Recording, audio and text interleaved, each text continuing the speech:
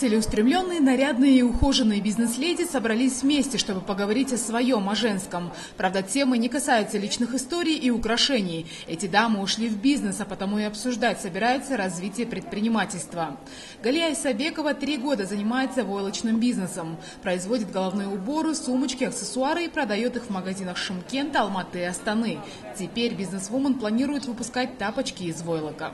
Я буду производить домашние тапочки и пинетки детские. Глобальный такой вопрос стоит для Чемкента. Здесь сжигаются все эти шерсти овечьи. Нельзя их сжигать, не надо выбрасывать. Надо их производство вести. Это даст э, всем женщинам, которые услышат меня и поймут, каждой э, женщине можно открыть один бизнес.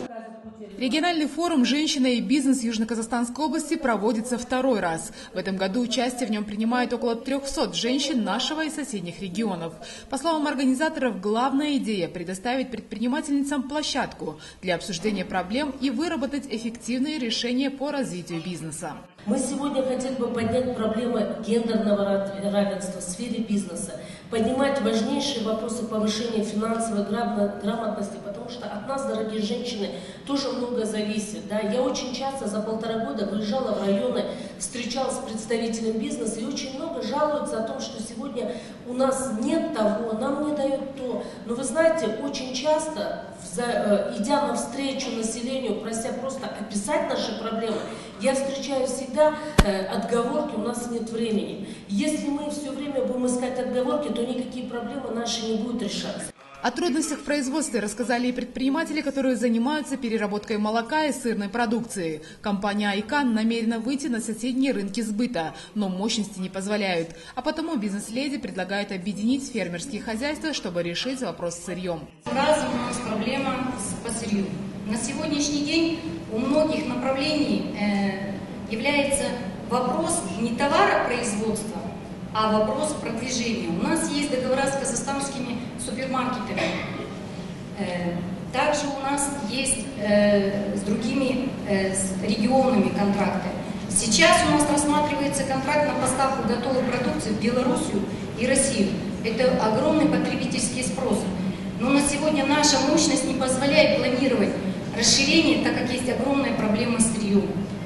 Первое – это по сезону, по сезону года. Второе – это вывоз сырья частными лицами на территорию города и различной области без контроля.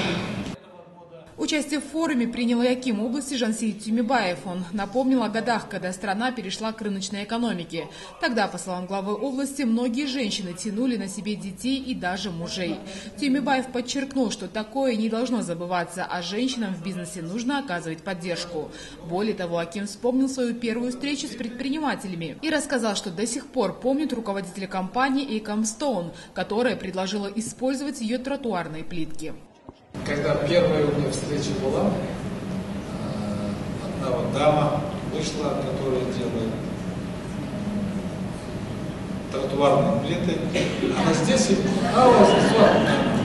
И у меня до сих пор на столе стоит. Как раз говорит, вот я не могу, говорит, Питер, я посмотрел, вот, качественно, очень хороший, не то, что там на улице, который через полгода уже да, не выдерживает. И дал задание, сейчас самая центральная площадь нашей области, напротив Шимкент Плаза. Вчера мы зажгли елку, и вот это плиты ваши. Спасибо.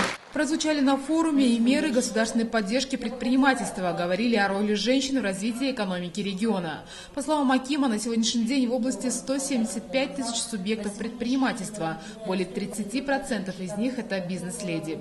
По итогам встречи было предложено объединить различные направления бизнеса в отраслевые ассоциации. Это, по словам специалистов, позволит быть услышанными. Потому как одной из причин, мешающих развитию женского бизнеса, остается менталитет и неосведомленность о мерах мерах поддержки, которые оказывает государство. К концу встречи собравшихся бизнес-вумен наградили благодарственными письмами и медалями. Внимание удостоились руководители таких компаний, как Азала, Асларман и Экофарм.